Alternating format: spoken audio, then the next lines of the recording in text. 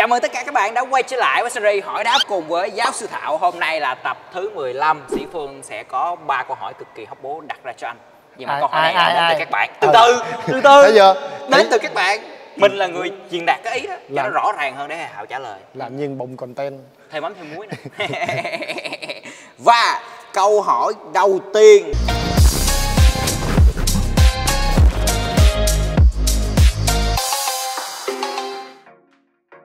Thầy Thảo và anh Phương cho em hỏi, nếu chơi cầu lông muốn nâng trình độ và các kỹ thuật trong một khoảng thời gian tập một lúc, nhiều kỹ thuật khác nhau?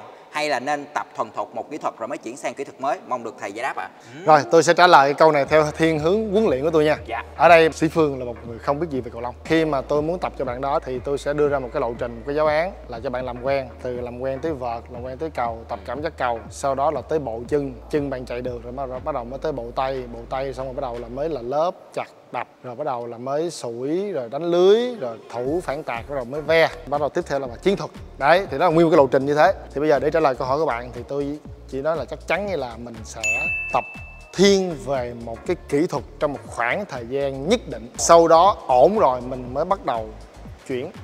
Tại vì những kỹ thuật khi mà tôi hướng dẫn, chia sẻ với các bạn, thì các bạn làm xong thì nó sẽ là cái bước tiền đề cho cái kỹ thuật tiếp theo em hiểu không? Hiểu hiểu anh. Bây giờ em mà quýnh cầu còn hụt mà bây giờ anh đâu thể anh vô anh bắt em lớp hay đập hay là gì đó dạ bây giờ mình sẽ đầu tiên là mình sẽ tập từ cái cảm giác cầu trước từng cầu quen cho cái cầm vật cho chuẩn. Thì bạn cầm vật chuẩn rồi tôi sẽ chỉ các bạn cái cách di chuyển.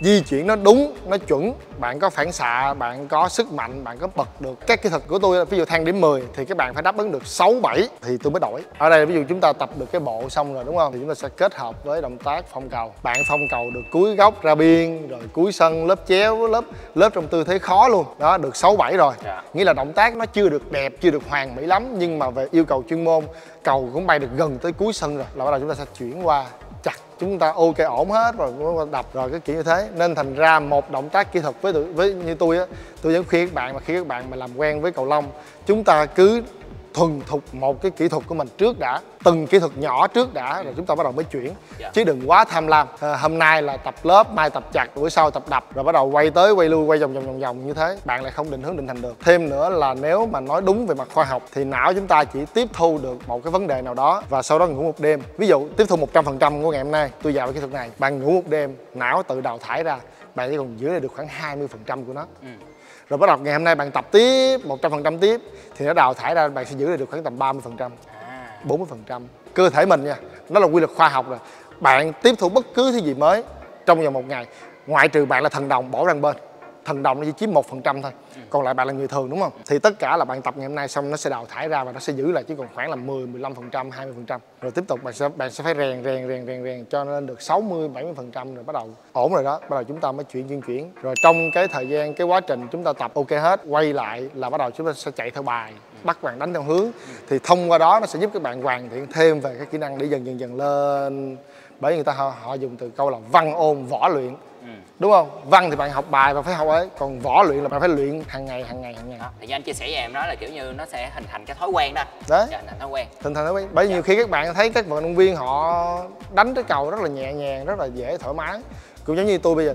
Bây giờ tôi có bỏ cầu lông đi chăng nữa. Tôi có bỏ cầu lông đi khoảng là 3 tháng 4 tháng 6 tháng thậm chí cả năm đi. Nhưng mà tôi chắc chắn tôi chỉ cần bỏ ra khoảng một tháng để tôi tập lại thì chắc chắn tôi sẽ đánh cái cầu được khoảng độ khoảng là 30 50 phần trăm cái cái thời của tôi. Các bạn nha đừng có cố tham lam học quá nhiều kỹ thuật cùng lúc. Tổ qua nhập ma đó. Rồi và đây là câu hỏi thứ hai. Mình chơi cầu được một năm 4 tháng và hiện tại mới xuất hiện một vấn đề. Cái chụp mũ chỗ cán vợt nó bị nứt Cụ thể là cái cây iPhone 70 à, chụp cán hai tầng á Thì à, các anh lớn có người bảo là do động tác của mình bị vặn xoắn quá Không thẳng tay nên nó bị nứt.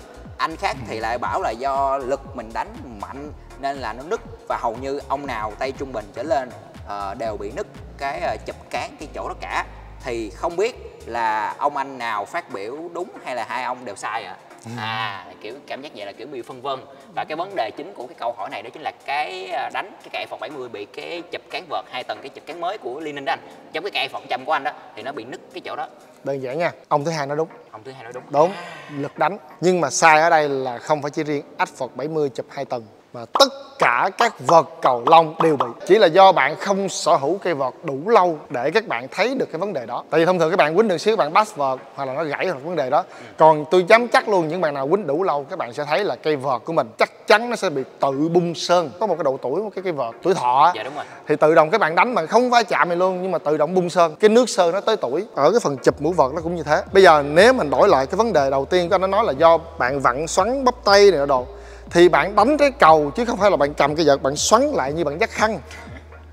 Mà bạn bị cái vấn đề đó không, thì không thể nào có vấn đề đó được. Chỉ trừ khi nào bạn bẻ cái vật bẻ tới bẻ lui thì ok, thì cái vấn đề đó thì ai cứu được nữa. Thì tiếp theo nữa là cái vấn đề mà giữa phần đũa vọt và phần chụp, luôn luôn nó sẽ tạo một cái độ rung. Bởi vì cái cán vọt luôn luôn rung. Dù đũa cứng cái nào đi chăng nữa thì nó vẫn có rung. Rung ít hay rung nhiều. Ê, đây, mượn vợt. Ok, ta ra. Đây thì cái đây là cái phần chụp mũ vợt ok. Đây là phần đũa. Ok. Đây là phần mặt vợt. Rồi. ok ha. Rồi khi bạn đánh á thì lúc nào bạn đánh là cái mặt vợt cũng như thế này. Thành ra nó sẽ lúc nào nó cũng sẽ nó cũng sẽ như thế này. Đúng rồi. Được chưa? Rồi nó bật ra. Bật ra.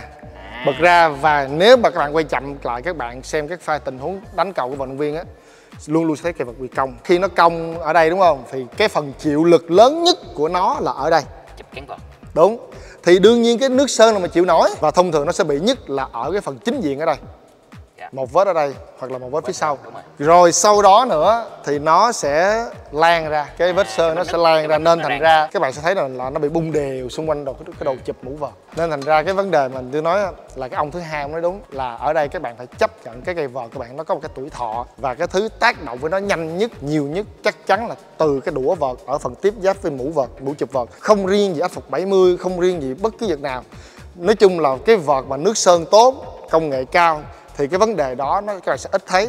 Những cái vật giá rẻ, sơn nó sơn nó hơi không không tốt bằng. Thì các bạn sẽ thấy cái quá trình nó nhanh hơn ha nên các bạn đừng có quá quan ngại. Hồi xưa là mình một cái người từng trải qua một thời gian vợt Lenin cũng khá là lâu. Thì thường á mình thấy á, những cái cây vợt Lenin nó sẽ rất bị dễ bong sơn ở ngay chỗ cái phần chập mũ vợt giao với cái phần cán vợt. Khi mà các bạn đánh á, thì nó rất là dễ bị bong chỗ này luôn. Và nếu á, mà những bạn nào quấn cán vải các bạn sẽ bị một cái vấn đề khi mà các bạn quấn cái quấn cán vải nó cao lên tới cái phần chập mũ vợt thì các bạn lột ra cái là đi nước sơn luôn. Cái này Ừ. mình đã từng bị rồi. Và mình thấy là Lenin nó bị hạn chế một chút về cái phần sơn đó. Những cái cây vợt mới với lại iPhone 70 iPhone 100 thì mình không biết tại vì mình không đánh nhưng mà hồi trước những cây như là Tectonic nè rồi uh, Aeronet thì những cái cây đó là mình đánh qua mình thấy là nó đều bị cái lỗi là nó đều bị rất là dễ chóc sơn ở phần chụp cán vợt. Cái này là mình từng đánh qua và mình đã từng bị. Rồi và câu hỏi thứ ba cũng là câu hỏi cuối cùng đó chính là thầy Thạo với anh Phương ơi cho em hỏi là những dãy số như là 76 trên những hộp cầu là gì ạ? Mong thầy rep. Cái này dễ anh em cũng biết. Thôi nhưng mà để thầy Thạo trả lời cho nó chỉnh chu hơn. Dễ mà. Dạ. à, nhưng mà hồi đó tôi có bị một cái vấn đề vui lắm đây là một kỷ niệm có thật của tôi. Là hôm đó là tôi ờ, lấy cầu sĩ. Là tôi lấy một thùng 50 ống. Đó là tôi lấy của Hải Yến á. Trên cái đó nó có số 49 rồi với số 50 thì đưa cái thùng nó bình thường á là giao là số 50 xong rồi cái ngày hôm đó tự nhiên cái sau thì hình như chắc ờ, bị để nhầm. Thấy số 49 cái thằng bạn tôi la lên. Cái bạn chủ sân tôi la lên. Ê thùng này có 49 vậy? Thùng này có 49 là thùng này 49 ống.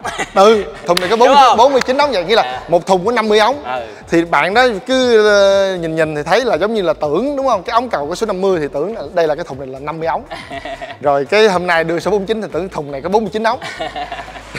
Đấy sau rồi tôi mới điện về bên ờ, bên Hải Yến. Hải Yến kêu nói là không bao giờ có chuyện mà thiếu được nghĩa là một thùng nó cố định là 50 ống rồi. Tại vì cái thùng đó là họ đã xem, họ đã đo cái diện tích, cái ống đó, cái lỗ tròn đó rồi bao nhiêu bao nhiêu thì bây giờ bạn xếp 49 ống vô là nó sẽ bị xô lệch cái hàng đi. nó không có chắc. 50 ống là vừa khích luôn thành ra khi mà vận chuyển nó sẽ không bị xô lệch xô đẩy nên thành ra là biết liền. Thì ở đây con số 49 50 hay là số 75 76, 76 hoặc là, 77, hoặc là số 1 78. 2 3 4 Đúng rồi. thậm chí luôn là do net là 30 40 50 nó không phải đại diện cho số lượng. Nó đại diện cho tốc độ bay của một quả cầu nhưng mà tùy vào hãng. Tôi nói ví dụ như giờ cái cầu Hải Yến mình đi cầu S70 thì nó có loại 49 loại 50 tôi nói ví dụ thôi nha. Thì 49 là bay bay chậm hơn và 50 bay nhanh hơn. Nhưng mà ở bên hãng cầu bên của VNB thì nó lại có 74 với 75 thì 74 bay chậm và 75 bay nhanh. Bây giờ bên Taro cũng vậy, nó lại có số 3 với số 4 và tùy thuộc vào cái vùng miền cũng giống như là cái tỷ lệ ưa chuộng của cái nhóm đánh mà cái người phân phối á, ở đại lý á, họ sẽ nói báo lên cái nhà phân phối nói là